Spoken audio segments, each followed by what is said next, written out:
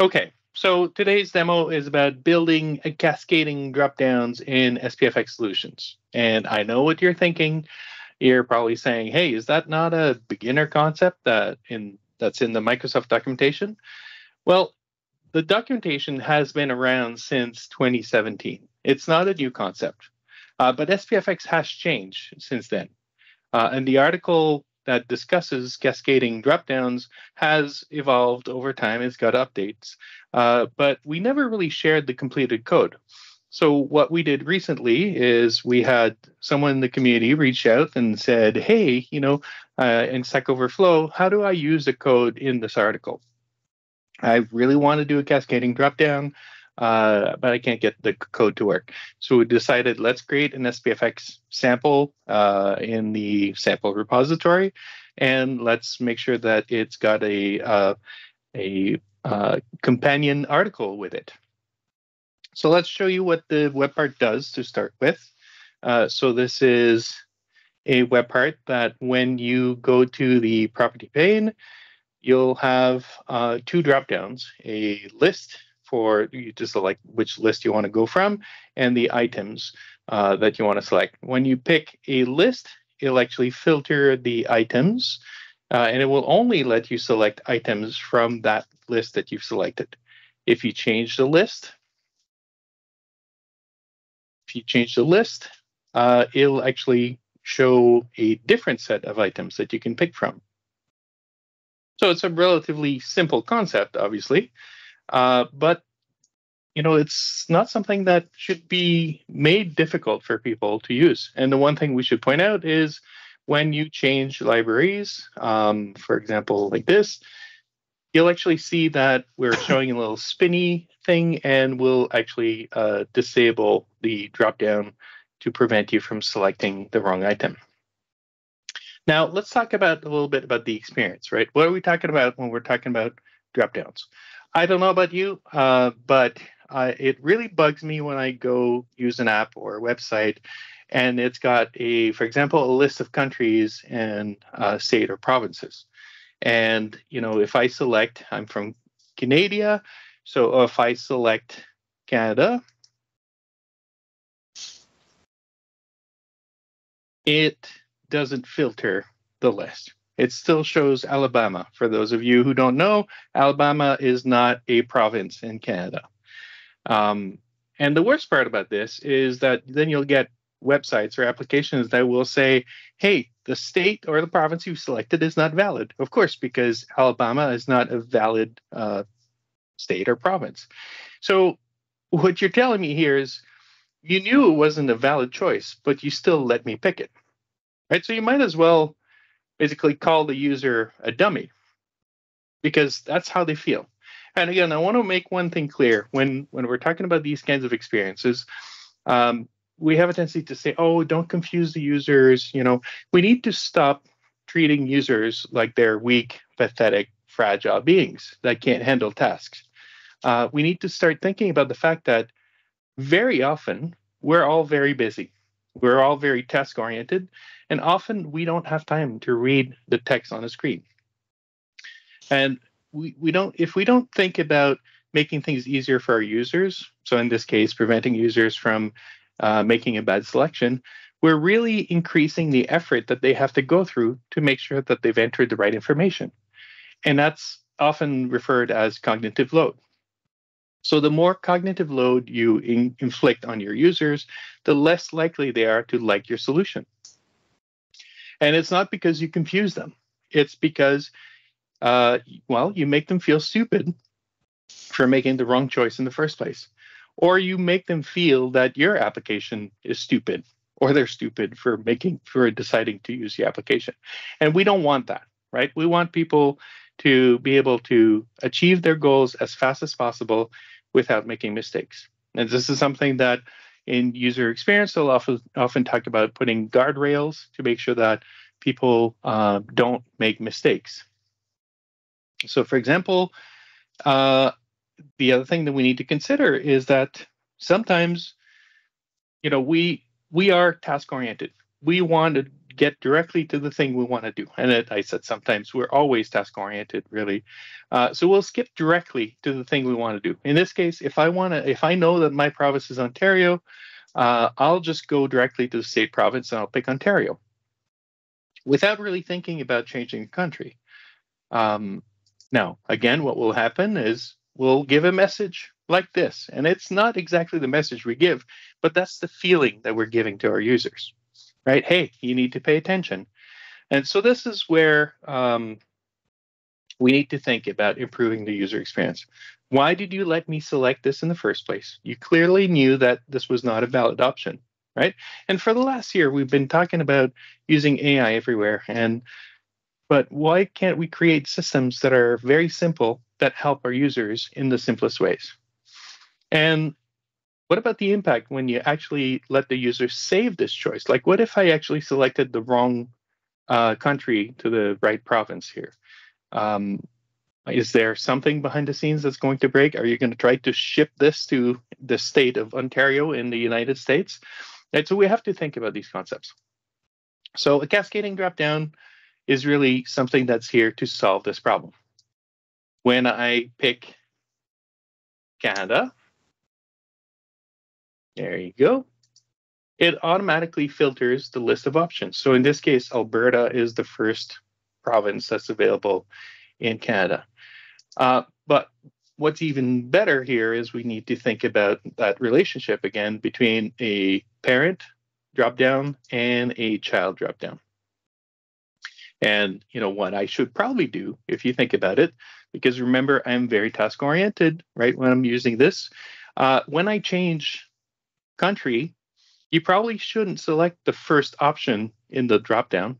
You should probably blank out the option in the dropdown.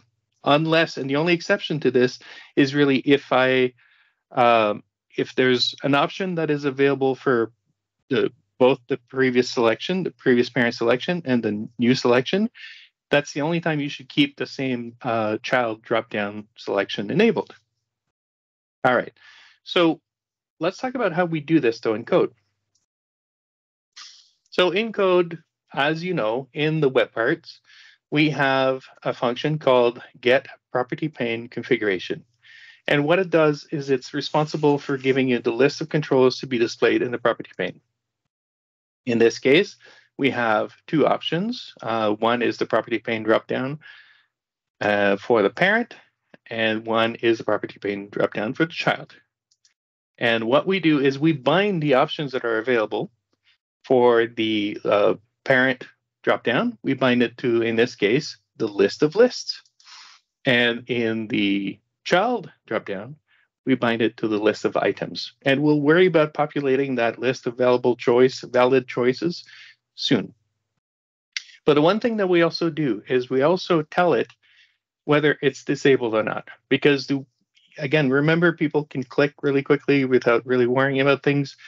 I might take some time to load the list of choices. And while I'm loading, if I'm not indicating clearly that I'm loading, users might just start clicking around, right? So they might select an option and the option disappears. So disable the dropdown while you're loading the values. And then what we're using is we're using a, uh, a, a variable that stores whether the list is disabled or not. And then finally, of course, we're binding to the uh, web part property called list name for my list of lists and to the item name for my list of items. Now, you'll notice one thing that's different about the child dropdown. I'm actually also using the selected key. Normally, when I when I change a value uh, or when I bind a value in a dropdown to a web part property, it knows how to select the right value but it's not always as reflective or responsive. Uh, so one one issue that we ran into, and we we solved this, is by forcing the selected key of the child, um, and we'll set it to uh, blank when we change the uh, the dropdown. And that forces the dropdown to say, okay, I understand. We've just changed the list. Now, where we store the information um, that we just talked about is, of course, in the list name and item name properties of the web parts. In the web part itself, we have two variables that we use uh, for our list of lists and our list of items, which are drop-down options that we'll select. I also have two variables to uh, determine whether the dropdown is disabled or not. You'll notice I always start by having it disabled because the first thing that will happen when I display the property pane is I should be loading the data. So why set it to false and set it to true when we know it's always going to start as uh, disabled. Uh, one last thing that we do set though is the loading indicator. And this is something where we'll tell you we're currently loading. We're going to do a little spinny thing. Uh, I know there's a better term for this, but that's what I like to call it. Uh, so we'll display the spinny thing to tell you that I'm working on something right now. Now, on property pane configuration start, um, I actually uh, load. Well, first thing I do is I look to see if I should disable the list dropdown. So if I don't have a list of lists, I can't let you select the dropdown. I'll disable it. Now, if I have a list, but I don't have a list of items, then I'll disable the list of items as well. And then if there's nothing to do at this point, we'll just stop here. But this is where the fun starts. If I actually have a list of items and um, a list uh, a list of lists, I can start using my loading indicator. So say, hey, I'm currently loading stuff. I will force a refresh to make sure that uh, if you think about it, right, um, the property pane is trying to do as fast as it can, as, as responsively as it can. But by forcing it a refresh, I'm actually telling it, hey, go take a time to display the little spinny thing uh, while I'm doing my loading. And so this is what you see here. When I'm loading my document, I'm getting a little spinny thing that's saying loading data. And when I show change the list again, it does that. All right, so now that I have my my spinny thing going, I am telling basically people that I'm doing some work. I can take my time to load the list. And the way I do this is by calling a function uh, called load list. Now you'll notice that I'm using an await indicator. So I'm telling it that this is an asynchronous function. That means that I'm telling SharePoint not to wait or sorry, not to stop everything that's happening on the screen because I'm calling this function. I still want my web page to be responsive while I'm loading the data. Uh, so by using an await, it allows it to, to do this asynchronously. And one thing that I had to do to make sure that this worked is by making the property pane configuration start uh, asynchronous as well. By doing that, it's telling the function, I'm going to have some uh, asynchronous calls within this. Now, once I have this list, I bind it to the list of options, and I can now stop disabling the list. And this is what you'll see here. You'll see that I have the list of items is disabled while I'm loading, but as soon as it's loaded, it returns to being enabled. All right, now how do I list a list of items from SharePoint? It's the same idea, right? I just call an await function to load the items. Uh, but at the end here, when we're all done, I basically clear the loading indicator. And again, I force a refresh of the property pane to make sure that um, everything is being displayed. All right, we're almost done here. Then how do I get the list of options, right? So one of the things that I do is, again, I said I call a asynchronous function called load list. Well, load list is a function that in our sample, we're hard coding a list of choices. In the real world, you would actually be making an API call or you would be uh, using PNP.js to make the calls. Uh, but this is what we're doing here. Again, this is an asynchronous function because we don't want everything to stop while we're loading. And what we're doing here is in this sample, we're returning a hard coded list of shared documents and my documents, uh, which is what you see right here.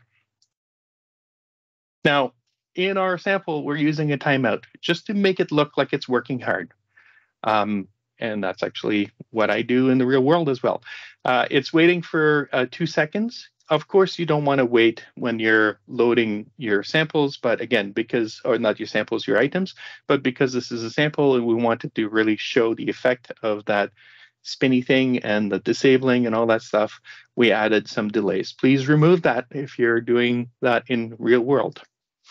Loading the items is done the same way. It's an asynchronous function where we return the choices here depending on which um, items you've selected or which list you've selected. Again, you see that here. When I pick a different list, I get a different list of choices. There you go. Isaiah, Isaiah, whatever that name is. Uh, and then the list of shared documents, I got SPFX Freedom Maxes, uh, Masses and Hello World. All right, we are almost done. The last thing we need to do really is when the property pane field is changed, again, this is an asynchronous function. Um, all I need to do is I need to say, hey, I'm loading. I make sure that I tell SharePoint that the property field has changed to make sure that it's reflected. And then the first thing I do, and this is usually something that we forget. And in fact, we forgot this in our in the previous iteration of this sample. You should set the item to be uh, an empty string. Uh, don't use null or undefined. That's not going to force the dropdown to update. You need to set it to an empty string. That's going to force the child item to reset to nothing. And then we do the same thing. We disable things, we refresh things, we load things uh, asynchronously. And once we're done, we store the items, we enable the selector, and we remove the loading indicator. And then for good measure, we refresh the property pane to make sure that the app is being responsive. Now on the on property uh, pane configuration start, what we used to uh, do before is we used to do, uh, you know, call the function and then call a then and we used to do something, and then we used to do um, then, then, then, right? Which is something called promises. Um, now, what we do in the newer version is we use uh, await and async. Um, so an await allows me to actually create code that is not um, chained and, you know, uh, and what's the word I'm looking for here? Uh, it'll come back to me.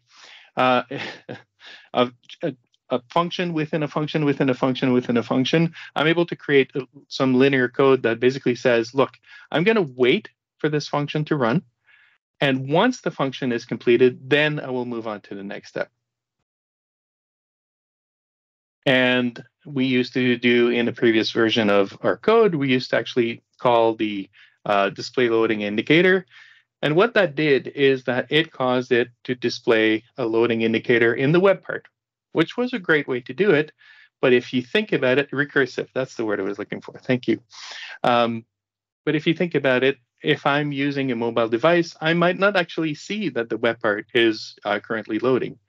So the newer updated behavior is to use the show loading indicator attribute or property of the property pane so that when I'm changing the values, show loading indicator equals true will actually display the loading indicator in the property pane, which is more direct, a more direct relationship to what we uh, what we're working with. All right. So for more information about this, we have the article that I referred to on how to use cascading dropdowns in the web part properties, and we have the cascading dropdown web part. And this concludes my demo.